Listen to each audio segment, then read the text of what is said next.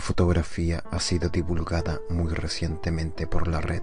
Fue tomada el 26 de febrero del presente año en un acto en el Hotel Chateau Réenfant en Gales.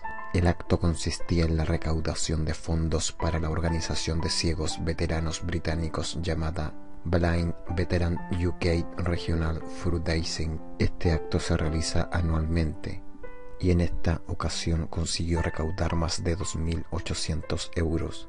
En algún momento de la ceremonia, la auxiliar del evento llamada Susan Evanson tomó una fotografía como muchas otras que tomó esa noche, pero en esta fotografía como lo pueden apreciar se puede ver una figura fantasmagórica de pie junto a las mesas.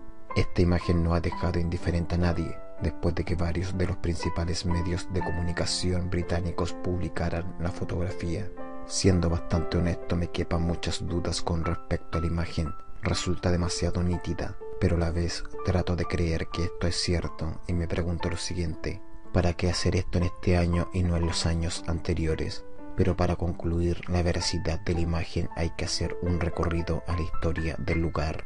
Delit Robert, gerente de ventas del hotel, comenta lo siguiente. Muchos empleados han hablado de sus experiencias alrededor del hotel al oír ruidos extraños y la sensación de una presencia, pero esta imagen es absolutamente increíble.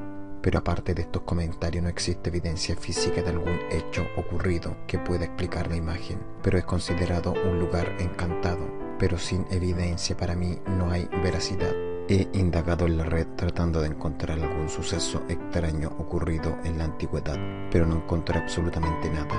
Así que esperar que esta imagen sea estudiada y revele la verdadera historia si es fidedigna o no.